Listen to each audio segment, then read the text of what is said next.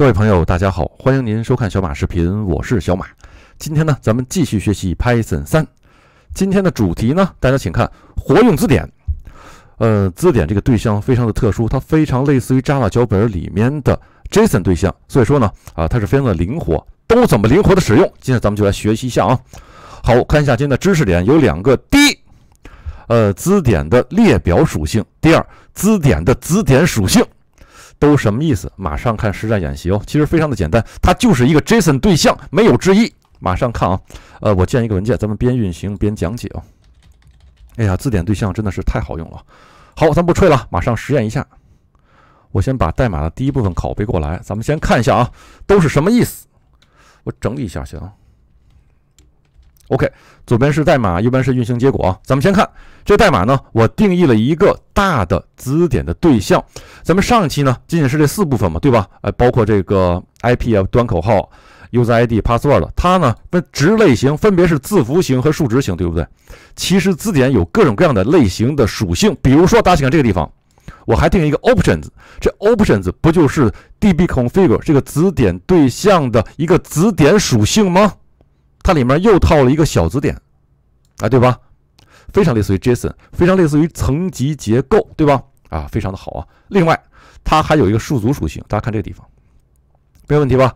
啊，比如说我这 dbconfig 里面要连接一个驱动程序，我要连接哪个驱动程序呢？后面呢，我给出一个数组。换句话说，咱们比如说想连接这个。PostgreSQL 这个数据库可能要使用下面的这几个驱动程序，用哪个都可以，但这是另外一回事。换句话说，我针对于 dbconfig 这个字典对象，我给了它一个数组属性，咱们记住这个就可以啊。然后呢，我把它们分别输出。首先，咱们先打印出这个 dbconfig 字典对象本身的内容。然后大家请看，我分别输出了一个 option，分别输出了一个 drivers，看一下它们这几个这两个子属性的内容都是什么，该如何输出？好，咱们试一下啊。Py test 回撤，注意看，呃，上面这一大部分，这一大坨是吧？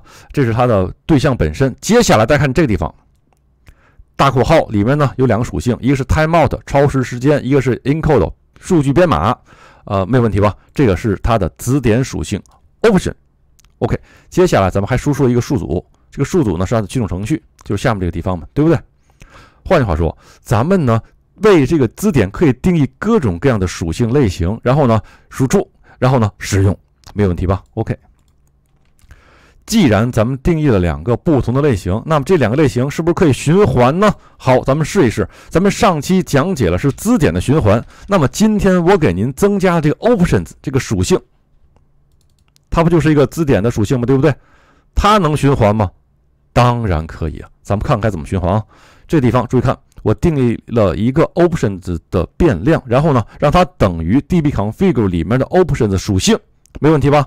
那么换句话说，咱们 options 的变量就是 dbconfig 的属性，然后呢，它就有一个 items 的方法，这个是咱们上期讲过，对吗？如何循环字典？那么咱们帮帮帮，把这个 key value 都取出来，然后呢，直接输出，完全和操作普通的字典对象完全一样嘛，对不对？好，那运行看结果啊，Go。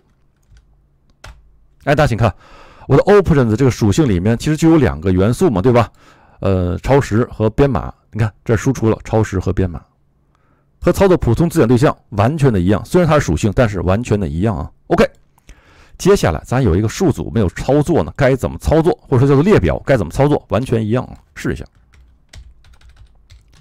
上面这个我屏蔽起来。好，咱们看，呃，咱们这个 dbconfig 有一个 drivers，这是一个数组属性，没有问题吧？那么咱们把它赋给一个本地变量，呃，这地方咱可以不叫 drivers，叫这个 a b c，叫 drivers 一都无所谓啊，变量名可以随便起。然后我让它等于咱们 dbconfig 里面的 drivers 属性，OK。然后呢，咱们和通常一样去 for 循环一个数组，或者说循环一个列表，取到每一个值，然后输出。哎，操作和咱们普通的数据类型完全一样嘛，对不对？好，咱们马上试一下，看它的运行结果。Go。哎，大家注意看，输出了三个数据库的驱动程序。没问题吧？这个就是循环咱们普通数组的结果嘛，对不对？呃，操作起来呢也是非常的简单。OK，以上呢就是今天我给您分享的活用字典的主题啊，不知道您听明白没有啊？它就是 JSON 对象嘛，对不对？非常的灵活，非常的简单。呃，推荐给您，一定要尽达到掌握啊。好，以上就是今天我给您分享的所有的内容了。今天的代码呢，我会放到开心中国的服务器，今天视频呢会传到优酷、YouTube，包括 B 站，供您下载观看。OK，那咱们在下个视频再见吧，拜拜。